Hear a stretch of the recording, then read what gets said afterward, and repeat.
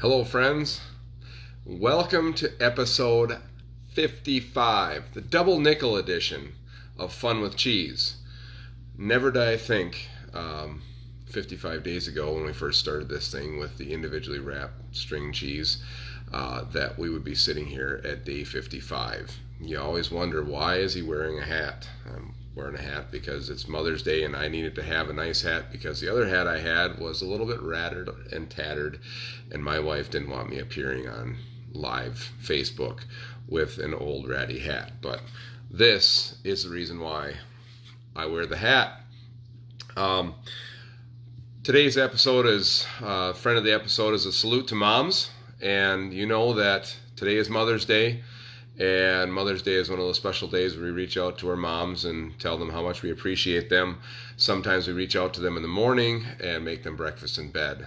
And yesterday I mentioned about cheese curds and having to reheat those things and always getting mom some cheese and, and things like that, showing your appreciation of moms.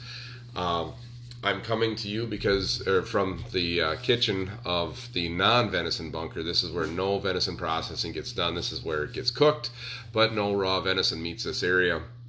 And this was the place this morning that some magic happened. And as I was looking last night, I went online to wisconsincheese.com, which is the Dairy Farmers of Wisconsin official site. Has a lot of different recipes and wonderful things.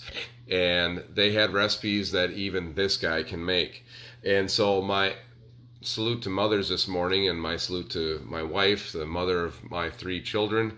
Um, today was making two kinds of quiche. And uh, a quiche, for those of you who think it's something crazy. It's a French word for baked omelet. Okay, get over it. It's just a baked omelet.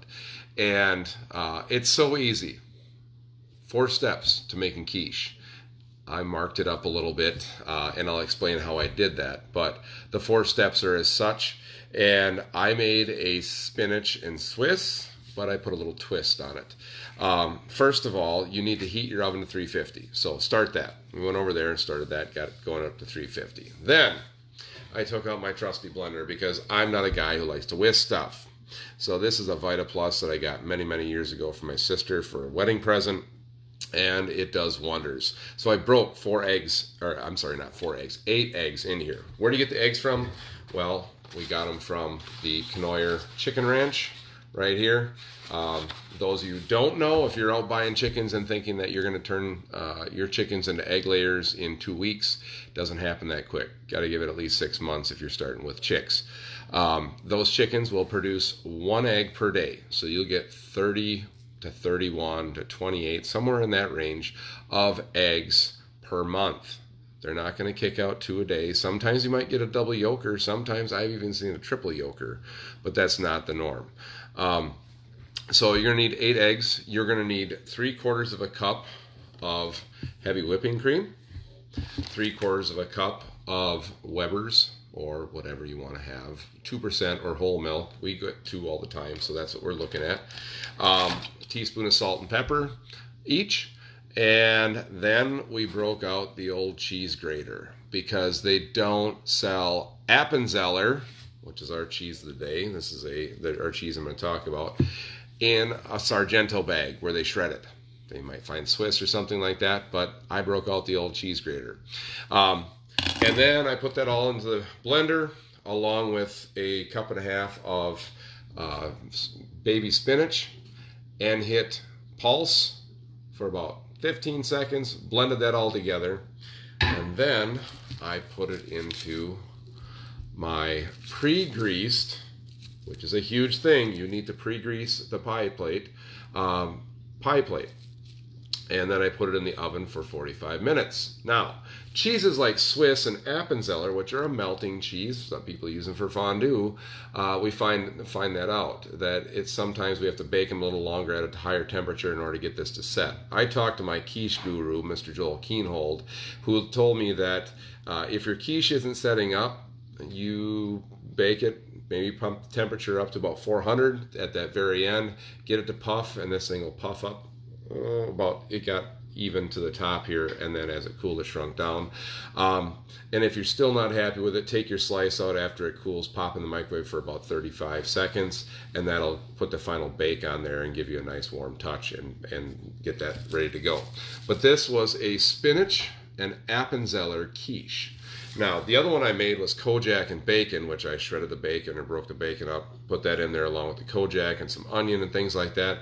Turned out phenomenal. You're wondering, why is my quiche brown? Well, cheese, remember, has sugar in it, lactose, and we add heat to that, it starts to caramelize just like a marshmallow. And so when we have that in there, just like our cheese curds, when we fry those and things like that, you're going to find that caramelization, and that's just caramelized sugar on top of the crust here. And you can see that it turned out pretty awesome. So, made that for Mother's Day, and knocked it out of the park. My kids even liked it. So, what the heck is Appenzeller, do you ask? Well, this was a three quarter pound wedge of Appenzeller, and you can see that it has a silver label. Appenzeller cheese is made in the Appenzell region of Switzerland, and it is only made in Switzerland. There's only place in I think 75 places throughout the world that make it, but Appenzeller, Switzerland, is where it got its start. Uh, originally, this cheese was only made by grazed brown Swiss cows. Remember, those crazy Europeans have these special rules that they have. In order to call it Appenzeller, it has to come from brown Swiss cows that are grazed, non silage fed cows, and it is a smear ripened hard cheese. This silver label on here tells me that this is a relatively young Appenzeller. It has a fruity, nutty flavor, used a lot in fondues and things like that. But Appenzeller is uh, very Swiss like and that's the reason I use it with my Swiss and, and uh, spinach quiche that I made because I had I didn't have any regular Swiss sitting around, so I figured I'm going to use this. It worked. It's wonderful. Uh, it's made. It's a gourmet cheese. This silver label tells me that this is three months. If I go gold label, that's going to be four to six. If I go black label, that's even more than six months. And so um, I cut this off and I graded it with this guy use him. If you're going to be doing fresh stuff right away, it goes across here like this, spits the cheese out, and it's a wonderful thing.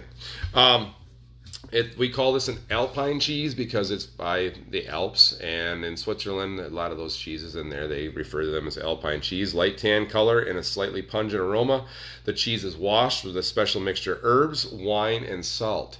Yum. And so Appenzeller is one of the three classic fondue cheeses, but it's fine also as a table cheese with fruit and crackers. And since it easily melts, you can always make it as a Swiss grilled cheese. So that's our fun for the day. Appenzeller cheese, silver label, gold label, or black label. And it's a Swiss made cheese. Um, if we're going to go real crazy with it, you can take tours in Switzerland to the place that actually makes it at that actual factory. They're real hip on what they do. Um, happy Mother's Day. Check out wisconsindairy.com. Look for the recipes. They're that simple. This one was four steps. Even this guy was able to turn it out and make it awesome and even put a smile on my wife's face with me cooking that early in the morning. Um, please don't forget your cooking spray in those in those crustless quiches, uh, that makes everything peel out that much easier. That's it for day 55. I'm glad you're able to join us. Happy Mother's Day to you all, and we'll see you tomorrow for day 56 of Fun with Cheese.